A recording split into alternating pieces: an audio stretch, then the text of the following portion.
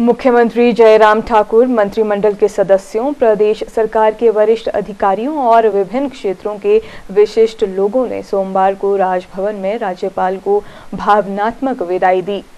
प्रदेश मुख्यमंत्री जयराम ठाकुर ने अपने मंत्रिमंडल के सदस्यों व विभिन्न क्षेत्रों के विशिष्ट लोगों ने सोमवार को राजभवन में राज्यपाल बंडारू दत्तात्रेय को भावनात्मक विदाई दी। इससे पूर्व राजभवन के कर्मचारियों ने आज राज्यपाल बंडारू दत्तात्रेय के लिए विदाई समारोह आयोजित किया। इस अवसर पर राज्यपाल दत्तात्रेय ने कहा कि उन्होंने पिछले दो वर्षों के दौरान प्रदेश के लोगों से स्नेह, आदर एवं सम्मान प्राप्त किया है, जो उन्हें हमेशा याद रहेगा। उन्होंने कहा कि अपने लगभग दो वर्ष के इस कार्यकाल के दौरान उन्होंने राजभवन की गरिमा को बनाए रखने और प्रदेश की उन्नति और विभिन्न कल्याणकारी गतिविधियों में भाग लिया।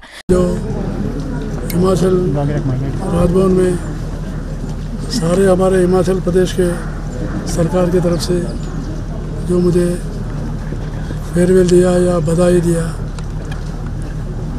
और यहाँ के कर्मचारी मैं उनसे बहुत ही प्यार और प्रेम हुआ। मुझे जाते वक्त जो है थोड़ा दुख भी लग रहा है। मुख्यमंत्री जी और मंत्रीगण और सारे अधिकारी लोग और राजभवन के अधिकारी लोग सभी लोग भी प्रेम से प्यार से राजभवन में काफ़ी अच्छा देख लिया है। फिर भी मैं बहुत स्मृतियों से जा रहा हूँ। बहुत अच्छे अच्छे स्मृतियाँ मेरे मन में है। वो स्मृतियाँ मैं सदा जो है, याद रखते रहूँगा और सभी हिमाचल प्रदेश लोगों को शुभकामना देते हुए मैं विदाई देता हूँ।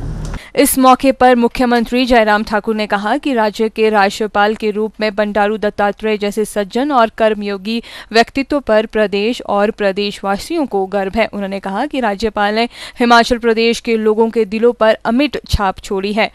उन्होंने निर्वर्तमान राज्यपाल को भी उनके द्वारा प्राप्त स्नेह और मार्गदर्शन के लिए आभार व्यक्त करने के साथ उनके अच्छे स्वास्थ्य और दीर्घायु के लिए प्रार्थना की। बंडारू दत्तात्रेय जी का कार्यकाल राज्यपाल महोदय के रूप में हमेशा स्मरण रहेगा, क्योंकि इतने सरल और सहज स्वभाव के व्यक्ति और इस दायित्व का निर्वहन करते हुए हिमाचल प्रदेश से आज जा रहे हैं। उनको अपनी ओर से शुभकामनाएँ देता हूँ आगे के कार्यकाल के लिए।